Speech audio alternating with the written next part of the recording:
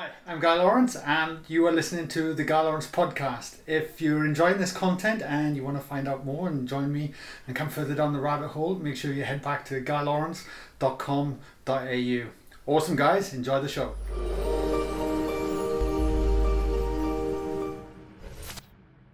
Jon, welcome to the podcast. Guy, thanks very much. It's great to be here. Yeah, I really appreciate it, mate. Yeah, sure. Now, if a complete stranger stopped you on the street and asked you what you did for a living these days, what would you say? Uh, actually, I usually tell them I'm a writer because I don't really like to talk to my, talk about myself too much, unless there's a purpose behind it, unless it can help inspire people or help uh, heal people. I don't really like to talk about myself too much, so I try to, I try to weasel out of that com- that uh, question pretty quickly. So it's, oh, really? And they usually don't go too much further. They're like, oh, you're a writer, you know, like, and yeah. they uh, they have their own opinions about what that means. I, I, I, yeah, I can appreciate. I mean, technically, I am, a, I am a writer, but the truth is that you know when I was in when I was in college, I went to uh, University of Pennsylvania, and uh, I took courses on everything from biochemistry to to finance to photography, and I only had one criteria, uh, and that was that I wouldn't have to write a paper. Like that was my because that's how much I hated writing when I was in school. So I'm not really a writer, right? I even had an opportunity to go to the Cannes Film Festival uh, as part of the curriculum at Penn. So it's all expense paid, you know, two or three weeks in the Cannes film, just watching movies. And I didn't do it because I'd have to write a 10 page paper about a movie. And I couldn't think, how can you write 10 pages about a movie? Like that's, that's where, what I grew up with. But something happened along the way and we could talk about it where the floodgates opened up and I couldn't stop, you know, and since then I have written, uh, I guess, four books and one of them has been translated into uh, four, 16 languages and is in 60 countries and there's a bestseller in many many countries. So you know, yes, I'm a writer, no, I'm a writer, but uh, that's the answer I give people. Yeah, beautiful. And they'll probably then go, "What do you write about?" But yeah, um, I just say health wellness. I don't. Yeah. I, I, really try to weasel out of that conversation. If yeah. I feel like there's something I can contribute to that person, then I'm all in. You know, yeah. but I don't really like to talk about myself too much. Yeah, fair, fair enough. And, and, and I want to touch on um, something for the listeners because they're, they're not going to be aware of this, and I'm not even sure if you're aware of this, Jon. But when we met in Noosa many years ago. I think this was going back four, four or five years ago now. Yeah. And I was a dabbler when it came to meditation. Yeah, yeah. Like, and I was in and out. Yeah. And I sat, and I, and I think we had a we had a half hour conversation on the couch, and you were probably the most enthusiastic person I'd ever met at that point when it came to this, and you and it really made me change the way I looked at it and myself. And and from there, I think you've created a monster, mate. Ah, that's awesome. a big, beautiful monster. You know, uh, that's exactly my point is that in that conversation, which I do vaguely remember, there was an inkling in me that there was an opportunity to inspire this person into a path where they could connect with their higher energies, their higher power, their heart. And, th- and if that's the case, I'm not going to shut up. I'm going to keep going and going and going because it's just going to be channeling through me uncontrollably. But I don't talk about meditation to a stranger, for example, that I know is not receptive. I would never mention that I meditated. I've been meditating for 30 years now, all, pretty much daily for 30 years, 31 years uh, to be exact. And uh, and I don't mention that I'm a meditator. Yeah, I have a meditation for weight loss challenge, and I do these visualizations because visualizations visualization is a more accessible term to the layman but but uh, what happens is those people then get inspired to become meditators. And as a result of trying to lose weight and uh, through things like visualization and mind body practices and eventually meditation uh, there's been i don't know how many people probably over a million people in the world that are now meditating uh, based on based on the, the work that we've been doing. And that to me is that's my life's purpose. I can't think of anything i'd rather do. I wish the whole world meditated. If the whole world meditated we would be living in paradise there's no question about it. And it's it's amazing because if you'd said that to me five years ago, I would have been kind of like, really? Yeah, yeah exactly. But now yeah. I've been on the path and I'm on you know, the. Yeah, I, I'm like, well, yeah, that, yeah. So that's so that's if there is an opportunity that I feel to to open someone up to to really accessing themselves, really is what it is. Mm. then yeah, I'm all in. So what what was your um antagonist for meditation, Jon? Like, what, what led you to start looking? At? Really at- interesting question. You know, because we find it for all the wrong, re- all the different reasons, right? So I wanted to be able to break a brick just by touching it. That was my that was my motivation for meditating. So going we're going back 31 years. I was 23 years old. Um, my roommate had just introduced me to meditation, and and he did it through uh, this guy called Mantak Chia from who does a, a, Taoist type of practice where they circulate energy through their body. And we looked at other Taoist masters, and, and I saw one was able. He put his hand on a stack of bricks, and he just broke the middle one. Wow! And then I went to this guy in New York, um, Chaim Sober, his name is, uh, who is a um, uh, practices. He teaches at a at a, uh, a Jewish school in in New York and he uh, he has the ability. I saw him take a big stone and touch his head to it, and it just cracked. I saw this live, and I thought, I want to do that. I want to be able to break something just by touching it. So I, I learned how to circulate my energy, and that yeah, in order to do that, you have to meditate. You know, meditate, you circulate your energy, open up your energy channels.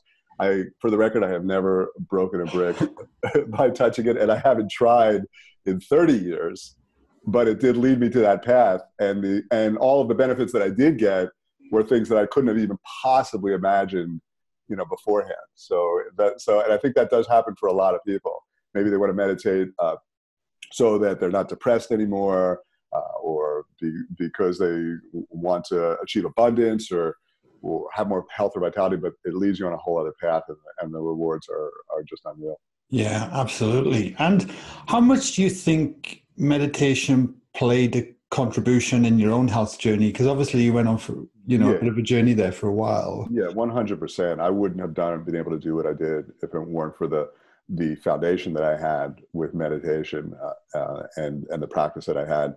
And I wouldn't have been able to contribute in the world the way I I have if I hadn't had that you know that background and, and to be able to basically balance like you know we create these visualizations that are a balance you know and i'm and i'm meditating and talking at the same time i don't script them right so i have to be able to be in a meditative alpha theta state and still talk at the same time and uh, and i don't think i could have been able to do that if i didn't have that foundation yeah, got you, got you. And you've you've opened up a loop there because some people will be listening to this going, yeah. "What what's alpha and theta?" Yeah, yeah, yeah, yeah. So uh, we can talk about that. So uh, when uh, you, your brain has uh, electrical frequencies uh, that it puts out. Now, most of the time when, when we're talking, we're in what's called the beta state of consciousness, where, where all the different neurons are firing real quick and fast. If you look at a, a wave of light, it's going up and down. So a wave of energy go, has an, like an amplitude. Uh, it's got the, the, the, the, energy that you're putting out in the normal state when, when we're talking is real small energy, uh, real small wavelengths, and real scattered. And that's the way we are right now, kind of scattered, frenetic. I'm thinking about a million things. I'm multitasking, I'm driving, I'm texting, I'm talking. You know, it's all happening, and then we're scattered. Uh, when you go into a meditative state, you go into some deeper uh, brainwave states that are called the alpha state and the theta state. Uh, theta is deeper and delta is the deepest. Uh, but in the, in the alpha and the theta state, the amplitude of the wave gets higher and slower. Uh, so you go from your from about uh, 30 cycles per second down to 15 cycles per second. And the other thing that happens is that all the brain waves start moving in the same direction. Uh, they start to become very synchronized. And this leads into a place where you're calm and relaxed and also more powerful because the higher the amplitude of an energy wave, uh, the more powerful it is. Uh, exponentially more powerful. So if it's 10 times bigger amplitude, it's 100 times more powerful. So you become more powerful, more focused, more relaxed. And that's why you'll, you'll notice when you're in the alpha state that your mind's not wandering. You're really focused. Other examples of being in the alpha state is if you're watching like the Olympics and there's this gymnast doing this impossible routine and it's the and, and she's got to get a 10 to to get the gold medal you know and there's all this drama going on you are thinking about nothing else but that you are so focused if you're doing art and uh, you're just so focused on getting that leaf right. You're not even looking at the leaf anymore. You're just looking at these squiggly lines, smaller and smaller, of different colors. You are so focused. If you're having a great massage, if you're making love, whatever the thing is, when you're so, you just become so, so focused. And it's usually very associated with a very pleasurable state. We want to get into that state where our minds aren't scattered. We're not running all over the place. We're very focused and relaxed. Uh, and then the theta state is even deeper. The theta state is the dream state when you're sleeping. You go into the theta state. Uh, and many people notice when I when I do live visualizations, my eyes flutter almost, and that's the that's associated with when you're sleeping. You've heard of rapid eye movement, REM. Uh, when you're dreaming, you have REM. So when when you're meditating and you're doing a visualization, you go into the REM state, and and uh, and that's the theta state the theta state's even deeper, where you're even more focused and you're just not even associated with your body anymore. So you are not aware of your body. You're in a dream place. You're either, if you're conscious and you're visualizing, you're dreaming that you're walking on the beach and, and everything's going great in your life and the weight's melting off. You're there. That's where you are. You're not in your body anymore. And it's true when you're sleeping, you're not in your body anymore. You're some dream place. So these are the different states that are associated. The, the greatest meditation masters can get into what's called the delta state, uh, which is just four cycles per second. Most people uh, get, get into that state when they're sleeping and not dreaming. It's at that time when you're just knocked out. But great, great meditation masters can get into that state while they're conscious. And their brain waves are so powerful at that point that they can manifest, you know, amazing things. We've heard of meditation masters doing so-called miracles, and it really is because their their uh, focus and brainwaves have gotten so powerful that they can they can actually manifest things that they that they're imagining or wanting to create. It's quite incredible, isn't it? And yeah. do you find like how, how powerful do you find visualization from working with other people and yourself over the years? Visualization is one of the most powerful tools that you can use in any aspect of life. If you look in all areas of life, uh, the, the, the people that have the greatest achievers in all areas of life, they may or may not talk about it, but some of them do that they use visualization. Uh, Michael Jordan talks about the fact that he used to visualize, you know, the ball going in over and over again. Tiger Woods, uh, before he hits the ball, every single time, he visualizes where he wants that ball to go. Uh, um, Carl, Carl Lewis, I don't many I don't know if you know who he is, but he was a sprinter in the 80s, uh, 70s or 80s. He won nine gold medals. Uh, he said every time right before the gun went off, he would visualize his, chest breaking the, the, the thread, the tape, which they don't do anymore. They don't have that tape anymore, but he would visualize that every single time. Uh, Arnold Schwarzenegger, uh, said that when he he was the most accomplished bodybuilder back in the 70s of all time when he his first biggest accomplishment was the mr universe he said he visualized being on the stage holding up the trophy so many times that he said in his mind it was impossible for him not to have won that and then he went on to do it for all his mr olympia he every event that mr olympia that he competed in he won uh, then he went on to visualize being a successful actor uh, and that was, and then he, and he did the same with politics. He visualized himself winning the, the event with, with politics. Oprah Winfrey visualizes, uh, talked about visualizing. Billie Jean King, the tennis player. Jim Carrey taught, has an amazing story. So he's got this story where he said, he said that he used to, when he was a starving actor, he would uh, sit at the top of Mulholland ba- uh, Drive and visualize all this success. And then he said, he once wrote a check for himself for $10 million and he dated it three years in the future. And it said for, for, for acting services rendered. And uh, three years to the day, it's an incredible story. He got a check for $10 million for the movie Dumb and Dumber. Three years to the day. Uh, so he's a big proponent of visualization. People that do it, I remember when I was working on Wall Street years ago, as a, you know, I was uh, in Wall Street. Uh, um, I had a client who was a self-made billionaire. This was a guy who uh, he fought as a fighter pilot in World War II. He's an old man. Fought as a fighter pilot in World War II. Uh, then he ended up in Japan penniless afterwards. After the war, he started working in a clo- working with clothing and clothing manufacturer. He set up a somehow set up a small clothing manufacturer. Then that grew, and then he sold that clothing manufacturer to the Limited, which is a big clothing company, or was I don't know if it's still around in the in the states. It was like the Gap at the time uh, for 10% of their stock and uh, and then became a billionaire and then went on to do many other things and so he was a multi-billionaire self-made and he said and i never asked him do you visualize? He just said i visualize my success. He said i see things going in all different directions. I see the business flourishing. I see this happening. And uh, and so i've seen it in all walks of life. And, and in my opinion nowhere is it more powerful than with with weight loss which is what we do it with uh, because you are you are using it as a tool to communicate with your body and, uh, and our bodies are very confused about modern day life. There, there's lots of stresses that we're programmed to react to in ways that are not suitable uh, for for t- in today's world. We get and our body gets very confused hormonally. And you actually use it as a tool a visual imagery tool to communicate with your body. And let me give you an example of what i mean by that. If you were if you flew into china uh, and you had to go to the bathroom. How do you know where the bathroom is, right? Uh, assuming you don't really read Chinese, right? You don't read Chinese, right? So, so how, how do you know where the bathroom is when you go and get the airport in China? You, you just start walking around and looking. And looking for what? What are you looking for? The toilet. A sign. A sign. But what's the sign? What does the sign say? The sign would have to have a symbol on it. The sign would have to have a symbol. That's exactly my point. Symbols are the way you communicate with someone that doesn't speak your language. Uh-huh. and our brain, the survival part of our brain, does not know English. You can't, the, the intellectual part of our brain, the cerebral part of our brain, and the survival part of our brain do not know how to communicate.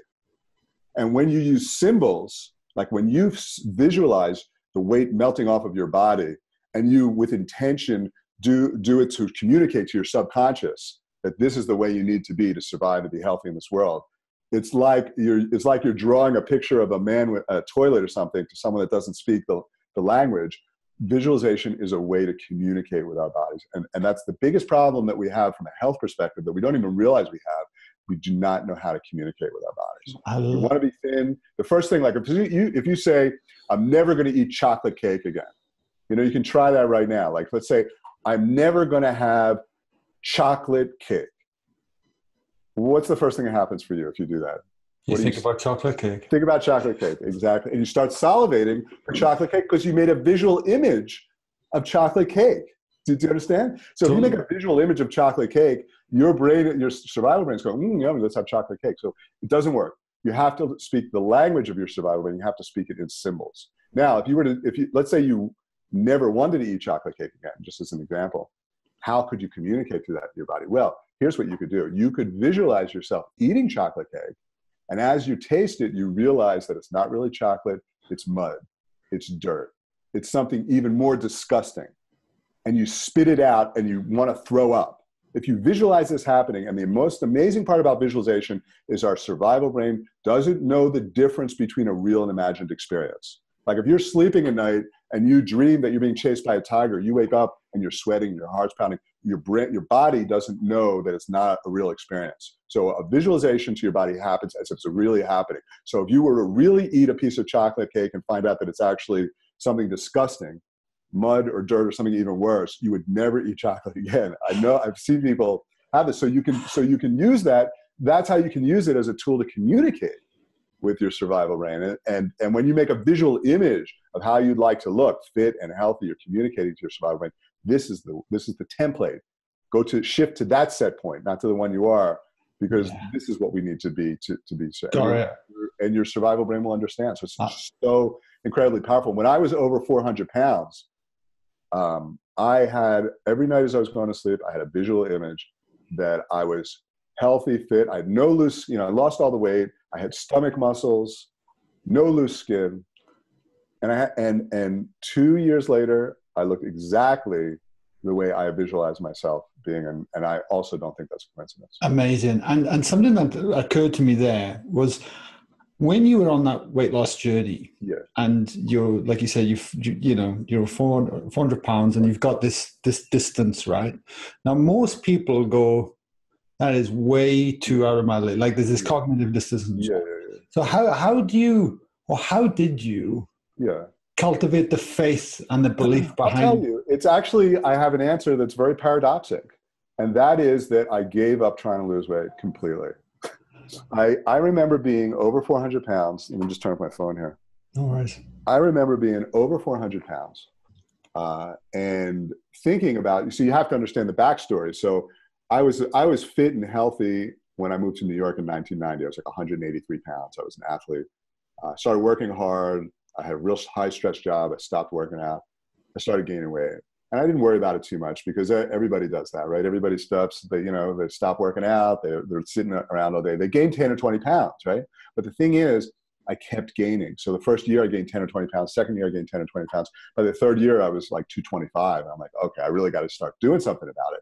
So I did what everybody does, which is go on a diet, right? Cut out this, cut out that. So I do that. And what I find is that what I found was that I, I lost maybe five pounds over a three week period through brute force, but I was fighting cravings night and day. And then I'd have this big binge, and then the weight would come back. And then I went through this 11 year period where I'd lose five pounds, gain 10 pounds, lose five pounds, gain 10 pounds. until I was over 400 pounds. And when I say I tried everything, I worked face to face with Dr. Atkins from the Atkins diet. I worked, mm-hmm. I worked fit. He's dead now, right? So he's not, he's not around anymore. But in the 90s, he was around. He was in New York, just like me. And I spent thousands of dollars with him. Uh, I'd show up at his office every Monday morning, seven o'clock. Uh, and he'd do tests and blood sugar and metabolic syndrome, and all this kind of stuff. And in the end, he just yelled at me. I wasn't losing weight, and he yelled at me. He goes, What are you doing? You're killing yourself. And I thought, What am I doing? I'm showing up at your office at seven o'clock in the morning. That's what I'm doing. I, I'm going to the best of the best. That's what I'm doing. I'm spending thousands of dollars, and it's not working. And so, and everybody has this idea with weight that uh, when people gain weight, it's because they're not compliant, they're weak, they're lazy, they're overindulgent. But that is not the reality. If you really understand the biochemistry of it, what happens is uh, certain uh, stresses in your life cause hormonal changes in your body that cause your body to hold on to weight, and those need to be addressed. So, any, but but I wasn't addressing them, and that's what most people don't address. So I was gaining, gaining, gaining. So when I was over 400 pounds, I thought this kind of thought came into my head. Said, you know, for whatever reason, your body just wants to be fat right now, and there's nothing you can do to stop it as long as it wants to be fat. And I knew that was true. And I had a moment. It was like a cathartic moment. I just sat there and didn't have another thought for like 20 minutes. And then I decided I was never going to diet again. Hmm. and if I ha- and I decided that I accept if I have to live the rest of my life at 400 pounds, I'm going to do it. Okay, I'm not going to try to lose weight anymore. I'm not going to go through this roller coaster yo-yo thing. I don't want to gain any more weight, but if I don't, if I'm not going to lose it, that's fine. This is me, 400 pounds. I accept it. I surrender. I had this moment where I really surrendered, and that was like the turning point for me. Like right after that, something happened. My mom had been trying to get me to, to uh, get a sleep study test because I have very bad sleep apnea. And, and I didn't know at the time, but I know now that sleep apnea is a stress that can cause your body to hold on to weight. So I finally listened to her. She'd been nagging me. She said, get a sleep study test. I finally got the sleep study test. Turns out I had life threatening sleep apnea, which can be corrected with something called a, a CPAP machine. Started using that. All of a sudden, I'm sleeping deeper. I'm not as hungry. I'm losing weight. I had another really cathartic experience two weeks later and that was that I was scheduled to fly from uh, Newark to San Francisco uh, um, on United uh, on on this was uh, September 11th, 2001. So this is 9/11, right? So uh, I was I if I had booked the flight, it would have been the United Airlines flight 93. That was one of the, the planes that got downed uh, in that flight. I was going to be on that flight, but my business partner booked the flight. So I was away and I said, just book, the, book some flights. Uh, he found a cheaper flight. It was $300 cheaper. Went from, through LaGuardia Airline, Airport, which is a, an hour away from where I live, hour and a half with traffic. Stopped in Cincinnati. It wasn't a direct flight. And it, and it just saved $300. Now, I was going to, uh, in that uh, trip, I would have spent $300 more in parking. Plus, I had to stop in Cincinnati. You know, and it was the only time in my life this guy's sort of like my guardian angel. He introduced me to meditation, by the way. This guy, right. It's the only time in my life that I've ever been mad at him, and I've known him now for 30 plus years. And and it turned out he saved my life because if I had booked the flight, I would have been on that New uh, uh, that United Airlines flight 93, and that was that, a really powerful experience for me because I realized that here I was killing myself. Okay, I was I was working in a job I didn't like. I was good at it. Uh, I wasn't great at it, but I was really I was good at it. There's no question. Um, I was making a living, but I did not like my life. I did not like living in New York. I never saw the sun. I wanted to be in nature. I didn't like sitting around in my head all day talking about bonds and all this stuff. stuff. I hated my life. Uh, but I didn't. I wasn't doing anything about it. It was always like someday. And and a couple of years prior, I had bought a house in Denmark, Western Australia, which is one of the most beautiful places in the world. It was always my dream that someday I would go there but I wanted to save up enough money so I never have to work again, kind of thing, which I hadn't done anywhere close to. But uh, you know, I had a little bit of money. Um, but when that happened, I, I realized that uh, here I was killing myself, but the universe just gave me a second chance. So at that moment, I decided I was going to start living my life now. There was no more some days for me. I was on borrowed time. You know that I was not going to pass mm-hmm. up the gift and the opportunity that life just gave me. It was really clear to me life spared me. And I'm like, look, if life spared me, I'm not going to waste my life, which I'm doing right now. I know I am. And so I closed my business. My wife was pregnant. I didn't know what I was going to do for the rest of my life. I moved to Western Australia. I started growing my own food, not entirely, but you know, we had fruit trees and we had strawberries and we had uh, just you know we had, had had a little bit of food going in the backyard. Uh, it was a beautiful property overlooking the water, tw- twelve acres with cherry trees, and uh, and I and I just decided I'd go there without knowing what I was going to do for the rest of my life. And then when I got there, um, I was really worried because I w- I couldn't make a living with my with my body anymore. I couldn't. I could barely tie my shoes, and and I was too stressed out to work with my head. So I didn't know what I was going to do. And I called my brother and I said, Joe, you know, what, what am I going to do for the rest of my life? And he said, just pray, ask for guidance. He's real religious, and uh, and and even though I meditate, I don't really pray per se. That was not my thing, but I did. I spent seven hours just saying, "Please guide me, please guide me, please guide me." And then something happened, and I just knew I was going to be okay. I, I felt like I had a connection. I made a connection to guidance. I didn't, you know, like the universe didn't say, "Okay, this is what's going to happen the rest of your life," but but I, I knew I had some communication. I had developed some communication with the non-physical parts of me, with spirit guides or my higher self or whatever's non-physical out there that knows what's going on. I developed a connection, and after that, it was just my life. The weight started melting off of my body. I wasn't trying. I wasn't weighing myself. Uh, I only weighed myself once in the whole period of time that I lost that 220 pounds, and that's because I was at a doctor's office and I had to had to get weighed. The weight, and I was still eating pizza and candy and chips and ice cream and all this stuff that you're not supposed to eat. I was doing everything wrong, and the weight was melting off of me. Eventually, I started eating healthier and healthier and exercising and seeing how and running with the momentum because it was like I was riding this huge wave, and I wanted to see how far I could go with it. So I was inspired at that point. But that was only after a year of losing weight that I even said, "Oh my God, I've lost over 100 pounds. I'm sure I could maybe lose all this weight." And then I got the energy. Got it. But I had given up entirely on losing weight, and that's why I say it's a very paradoxic experience. And uh, and what I tell people many times is is uh, surrender is very powerful. Surrender to where you are right now. Be in the moment right now, and uh, and let that be the the catalyst for change. Don't look for change. Don't be unsettled. The whole time I was gaining weight, I was like, I can't believe you're 250 pounds. You're so fat. You need to lose weight. And then all of a sudden I'd be 275. I'm like, I can't believe you're 275. You're so fat. Then I'd be, and I just want to get back down to 250 and then I'd be 300 pounds. And then I just want to get, you know, so I was never satisfied. So I'm just like, be here, surrender right here to where you are. And that act of surrender somehow changes your, your, the fight goes away and you're, and you start working with the universe instead of fighting it. Kris Carr, you know, from Crazy Sexy Cancer. Remember I interviewed her once and she said, I had to surrender to the cancer in my body. I said, okay, you and I have to coexist. I accept that you're here. I'm not going to fight you. You're here. I surrender. And she said that was a turning point. And I really believe that in the same way that there's uh, uh, like five steps to grieving, you know, you ever hear that? That there's five steps to grieving. There's denial and anger and yeah. and blame and then acceptance. I believe that there are specific steps to transformation. And the number one step is surrender. Completely surrender to where you are right here, right now, and ask for guidance. I think that is the first. I'm even getting goosebumps. Mate, so am I. And that that is the first step to surrender or to transformation. Jon, I love it. Like, and and you know, I can even relate that into my own life with 180 nutrition because I'm right. start, I'm starting to resist. Like, it, one day I wanted to be teaching and working with what I'm doing now, yeah. and then I had in my hand that I'll always do it next year or whatever. Yeah, yeah exactly. Yeah. And then the pressure cooker just kept building and building yeah, and building, and then it's like I'm gonna have to make a choice. And when I let go, when I surrendered.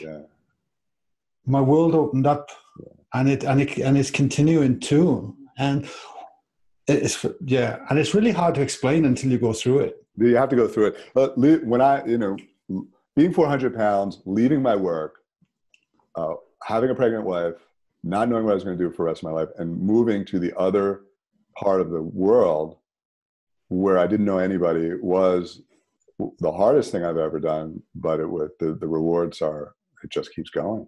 And I even every day, every single day now, guys, not a day that goes by since then that uh, after I finish my meditation, I say to the universe, I say, uh, please guide me. Please speak through me, act through me, feel through me, uh, think through me. I surrender to you with all my heart and soul. And then I say, please radiate your love and your light into this body and out into the world according to your will and your agenda. I surrender to you with all my heart and all my soul. And that's what I do every single day. And I and and if I don't, that's how I have to start my day because I know that if I don't do that, I'm in my head. You know, it's me. Yeah. It's like, oh no, we're gonna do it. But when you do that and you form this connection. So every day I'm deepening this connection to that experience that you're having right now, where you're riding this wave of it's not logical, it doesn't make sense, right? You had great business, you were thriving. Why would you walk away from something that's mm-hmm. not logical? But this part of you, this non-physical part of you, this feeling part of you, had to do that. And when you uh, uh, honor that part of you, because that part of you knows your life's path, it knows the future for you, it knows what's coming around the corner the, you know, the logical part doesn't.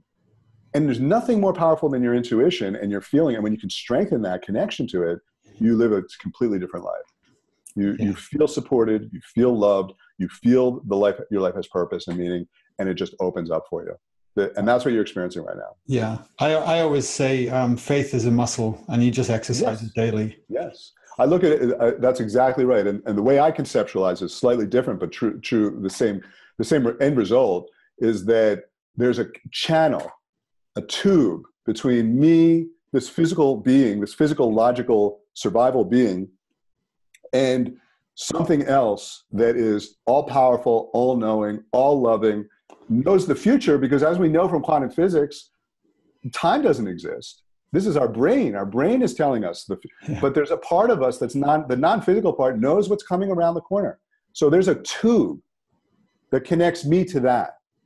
And what I do is every day I clean that tube, I open that tube, I widen that tube, I run more and more energy back and forth between that tube every single day for years and years and years. So that, that because I was a very logical person, I'm not one of these people that you know, grew up with intuition. My dad said, you know, when you when you die, you cease to exist, and that's it. And and that's and he was a he was a scientist. He was a dentist. He grew up in the you know in the 50s when it, when science was king. You know, let's let's just make a chemical and blast the food. It's a great idea. You know, we're smarter than nature. Let's let's. They used to spray kids with DDT. A lot of kids that had polio, they didn't have polio. They were poisoned by DDT. They would spray them with fire hoses because they're so smart. You know, this will kill all any bacteria. We need to kill all the bacteria. We're so smart. We're so much smarter than nature. And, and, and so we all grew up with that. You know, doctors are smarter than nature. We'll get a pill. We'll get a surgery. We'll cut it out.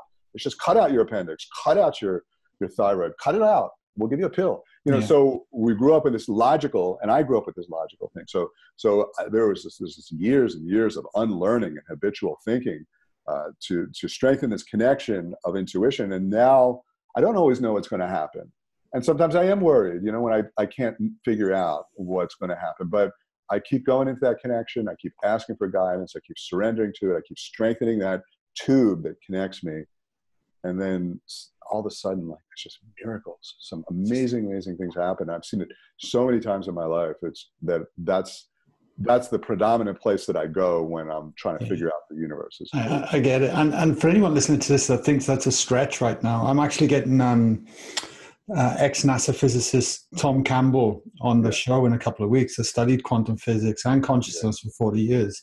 Cool. And, and so I'm going to get the science behind it, everything that you've been talking about there. Yeah, yeah, yeah. well, yeah, it's it's a fact that, that time doesn't exist. That's a that's a convention of the mind. It's a mathematical fact. Totally. Uh, yeah, there's lots of other things that you know. The, uh, our mind and our five senses make up a very false version of the universe, and that's another place where meditation comes in, in handy. If I could just uh, say it. So, so let, us look at this. So, so uh, we have five senses. We have, the way we make up the world and understand this world is five senses and our, and our mind. Right now, uh, one sense is is touch, right? So I'm touching my fingers, and they're solid. I have a solid finger, uh, a solid thumb, solid finger. I'm they're pressing against each other. Now, but if you look inside the atoms of my finger and thumb, what you see is you inside the atom there's a nucleus and electrons. Now, it, there the, the, the, the there's as much relative space between the nucleus and the electrons of, of those atoms as there is the, dis, the, the distance between the sun and the planets in the solar system. So if you look at our solar system, it's 99.99999% empty space. And that's also true of atoms. They are 99.99% empty space. Now, if you go further and look inside the nucleus, which is where all the mass is, uh, and you look at the particles, what you see is that those particles can sometimes exist as a physical particle and sometimes as a wave of energy. Yeah. At any time, they can be a physical or a wave of energy. And that wave of energy, and this is quantum physics talking, this isn't me making up woo woo stuff. That wave of energy can exist inside your finger or anywhere else in the universe within an instant. It can be on the other side of the universe at an instant, which means that even though I see this as physical, my thumb and my finger touching is physical, what's really going on is I am 99.99% empty space, and the mass that I have is just waves of energy all over the universe. And that's not an exaggeration. So we see ourselves as physical, our eyes and our brain make up physical, but we are really just waves of energy all over the universe. That's what we are, and that's quantum physics talking. That's not some high, uh, mumbo jumbo theory. So we make up this world that doesn't exist because because in our world, you're over there, I'm over here. Uh, I'm a physical, everything's physical, and time's going in a sequential way. But the reality is, both you and I exist all over the universe as waves of energy. We're not solid, and and we are also existing in all time. We are you you and I right now, and all everyone listening exists in, in, in all time right now, and that's the reality. Now you can't access that from your five senses. Your five senses is going to tell you this bullshit re- version of reality that keeps yeah. you that keeps you focused on being an army ant and and churning out whatever you got to churn out in the world through fear and false reality. But there is another part of you that knows the reality. It's a non-physical part of you. The non-physical part of you knows that you're waves of energy all over the universe, knows that time doesn't exist, can see what's coming right down the road for you, and you can access that part of you through meditation. It's like a sixth sense. People talk about the sixth sense, and there are people that are very psychic or very intuitive. There's nothing mumbo jumbo or strange about that. They have developed their sixth sense or their psychic sense. And you can develop that like a muscle too. And I'll tell you exactly how. And I just know this from experience. No one ever told me this. But you know when you you you look at a kid and they have a lazy eye. You, know you know what a lazy eye is, where one eye's yeah. like five year old kid they have a lazy eye. So so what do you do when a when a five year old kid has a lazy eye? What do you what do you do for that kid? Do you, do you know? I have no idea. You put a patch on the good eye. For I, I had I remember I was babysitting as a kid, a five year old beautiful kid, beautiful blue eyes. He had one lazy eye, look at you like kind of sideways like this. For a week, he had a patch on his good eye.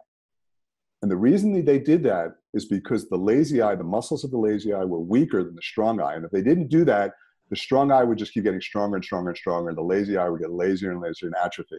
So they, for a week, he had a patch on his good eye, and it forced the lazy eye muscles to get stronger and stronger.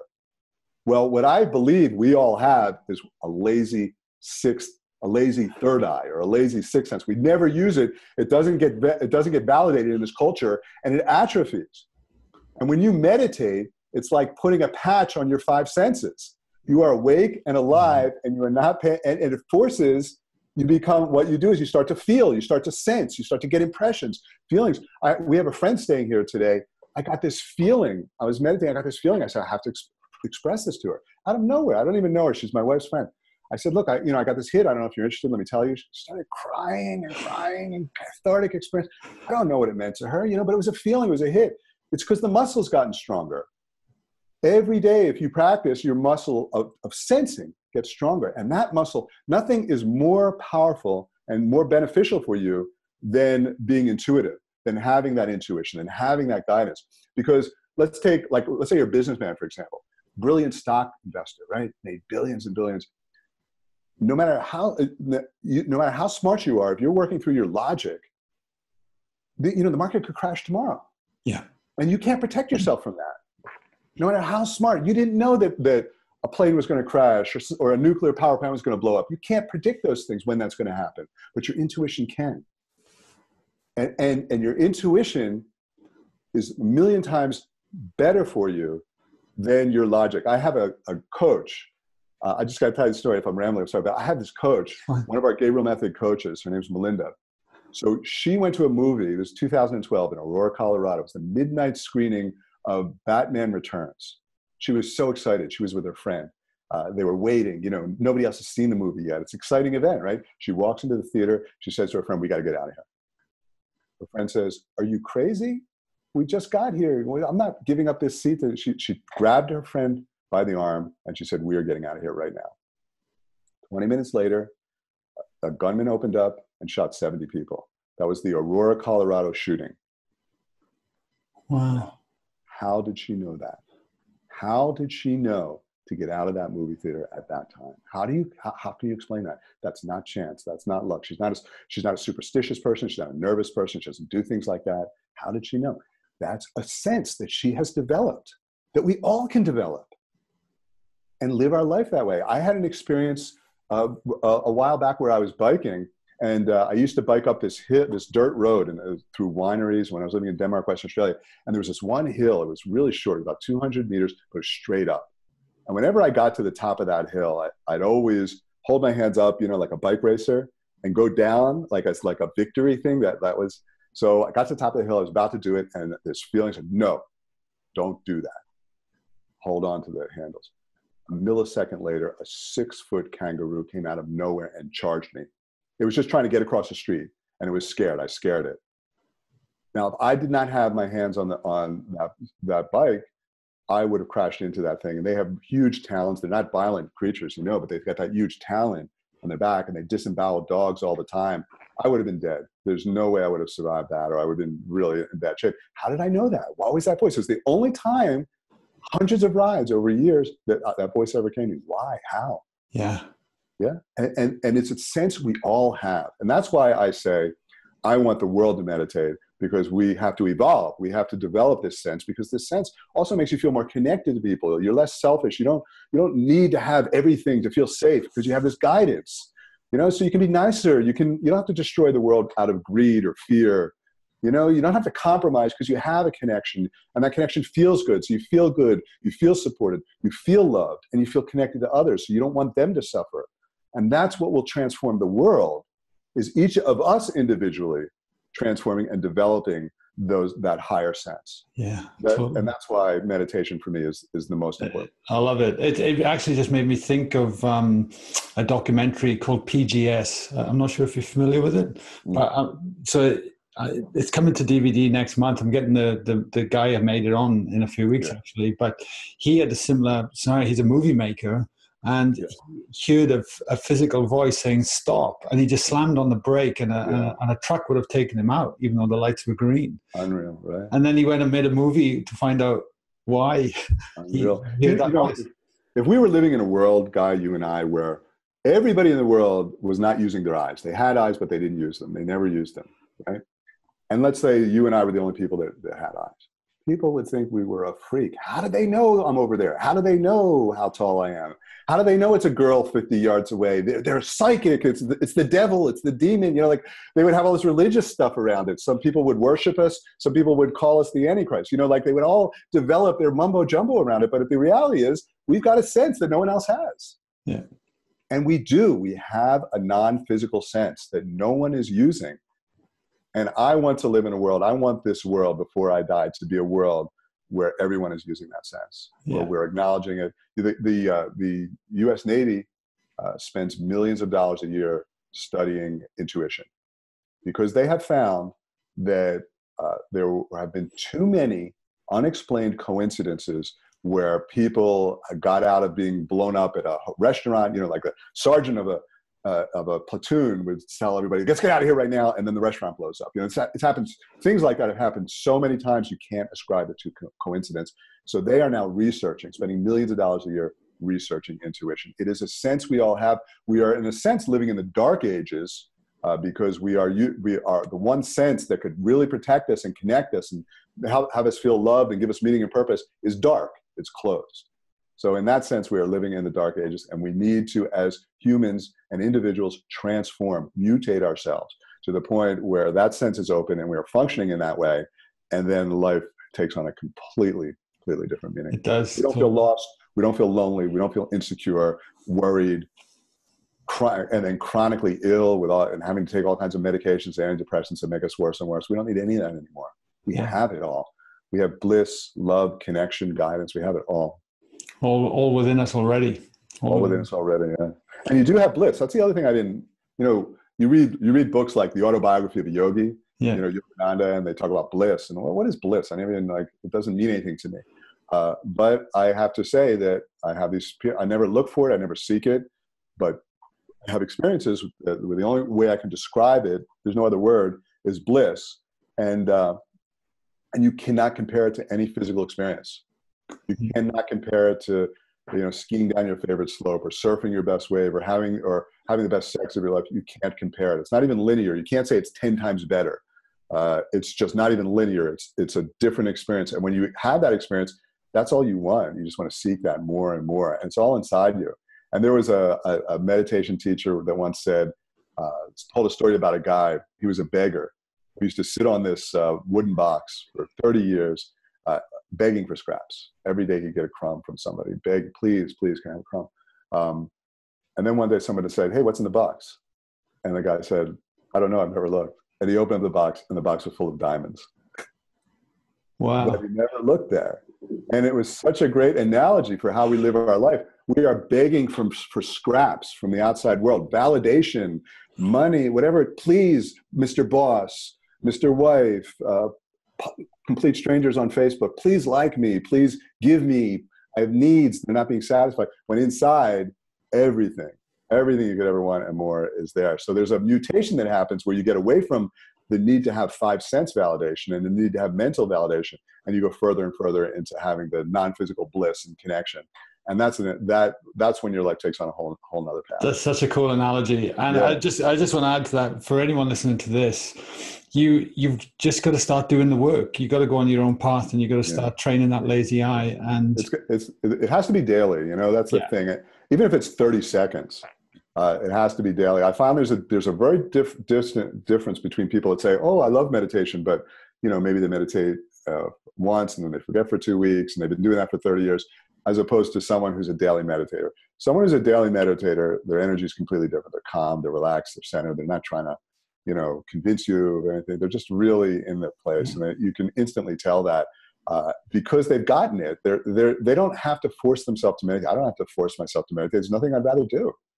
Nothing. Sometimes I'm uh, sometimes it's two in the morning and I'm meditating, and I'm grateful that I have can like that. There's nothing else I have to do right now you know, there's nothing I'd rather do. So I don't have any bucket list.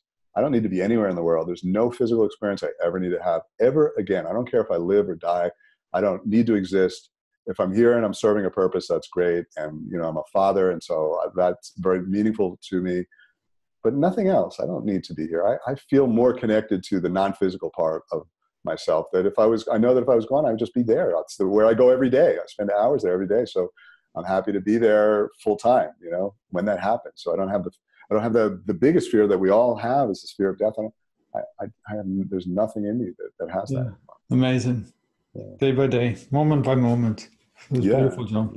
Yeah. Hey, I'm going to change gears. I got a couple yeah, of questions. Yeah. Um, that I want to ask you. Yeah. And the first one is we've kind of um, touched on this already, but I ask everyone on the show um, what, what's been one struggle in life that's later become a blessing? Yeah. Well, for me, it's real obvious, right? So. I, I gained 220 pounds. There was nothing I could do to lose it. I was, you know, I went to every diet and every expert, and that did become an, a blessing because when I finally surrendered and and used it as a tool to go deeper, uh, asking for meaning and purpose and guidance, it melted off it was the basis of the message that I send out to the world, and it's become my life's purpose. So that's a that's a real easy one for me. Yeah, yeah, for sure. Do, do you look at that almost like any problems as teachers now that come? Any problems in our lives or things that we can't come as almost like teacher? Yeah, many many times I I feel yeah. that the things that we are struggling and resisting and hating the most. Uh, it's so hard to see it in the moment, but it ends up being a blessing in disguise. Yeah, yeah. no question. Maybe not always, but I see it really, really often with people that I work with. Yeah, fair enough. I, I could probably guess the next question, but what does your morning routine look like? Ha ha ha. Yeah, you got you can guess that one real easy, right? So uh, I wake up and I meditate, and uh, I have a very specific meditation that's based on you know uh, different teachings that I've learned. That, uh, but it's all based on using my mind and visualization to move light through my body. Uh, mm-hmm. As a way of opening up my energy channels, you know, the uh, um, Eastern medicine talks about your uh, energy channels, your acupuncture meridians, your life force channels, whatever you want to call it. Uh, in India, they call them nadis, but we have these life force channels that's like a circulatory system. And you can use you, you, can use light, you can move light energy, invisible light energy through them, and it acts like Drano. It opens up the channels. So I go through this process where I open up the channels, and, and I know when the channels are open. So I can just feel energy can run from the top of my head down into the uh, uh, ground or through my chest. There's no amount of energy that I can't handle at that point. Like a nuclear explosion of energy would just go through me. There's no, no, no resistance. So when I know that that's happened, I know I can handle a big transmission of energy. That's when I ask for uh, the non-physical aspect of myself, my higher self, whatever you want to call it, to work through me.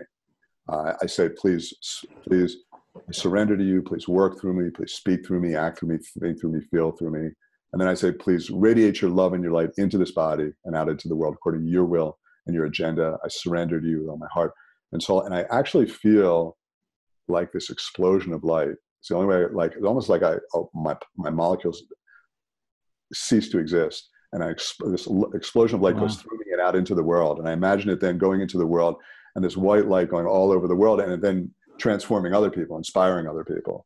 Inspiring literally means in spirit, spirit coming in. So I imagine it inspiring other people to meditate, wake up, live their purpose, and and that the world becomes bliss. And then and then when that happens, then after that, it's it's not my job anymore. Whatever happens in my life, I'm happy, and it just uh, I've surrendered. I've surrendered everything: my voice, my mind, my thoughts, surrendered it, and then I just I live my life. And I found when I do that, which is pretty much always, um, everything you know things flow beautifully. If I if I ever don't do it, I, like at the end of the day, I look back and I, I almost wish I hadn't got out of bed. I was reactive. I was in my head. I said something I wish I had, and I did something I wish I didn't. You know, so that's that's that's what I do, and then the rest just happens. Whatever whatever happens after that, I don't have a plan for because I've been surrendered. You know. Yeah. Beautiful. I love it. Um, last question: If you could have dinner with anyone tonight, oh. from any time frame in the world, okay. yeah. who would it be and why? Yeah.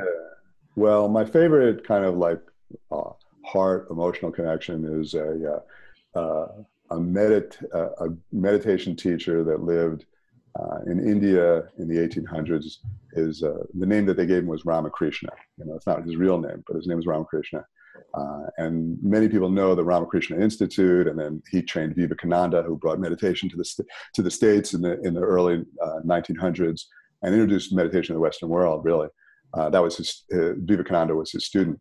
Um, he like I feel this incredible connection to that person. So yeah, I would I'd want to meet him. I want to. I don't need to have dinner with him or not, but yeah, to be yeah. around him would be would be. I would choose that for sure. Kind of cool. Yeah, awesome. And um, is there anything with everything we've covered today? Yeah. You'd like to leave our listeners to ponder on? Well, I think the theme is just in, in a power is, is follow your heart. You know, and even you know what's interesting? Harvard. I read this thing, a Harvard study of on happiness. They developed, they determined the seven things that make people happy. Number one was meditating. and then there were a bunch of others I remember. And then the last one was follow your heart. Yeah. Live with life, meaning, and purpose. Develop that connection. We all have purpose. We all have a non physical side of us that knows why we're here. And it's up to us. This is a partnership. That, you know that that non physical side is not is not going to like uh, show up and shake you it's going to respect who you are and your will and your and your agenda. So you it's a partnership. You have to do your part and your part is to ask. Ask for guidance open up surrender ask for that power to work through you to inspire you. That's your part. And then when you do that then as your feeling and intuition gets stronger and stronger live within your heart live within your that intuitive guidance that you're uh, that you're creating and deepen that connection. And that is when you do that, you are always on purpose. By definition, your purpose is to be a conduit for the higher energies that are you that, that want to come through this world. Love it, Jon. Love it. And for everyone listening to this, uh, if they want to find out more about your work, uh, yeah. uh, where can I send them to, Jon? Yeah, just go to our website, thegabrielmethod.com. There's lots of free information there and lots of ways to contact us. So, yeah, thegabrielmethod.com. Beautiful. Jon, thank you so much for coming yeah, on. Just, awesome rolling with it. That was absolutely mind blowing, and awesome. uh, no doubt everyone's going to get a great deal out of it. Thanks, Jon. My pleasure. Take care. Cheers.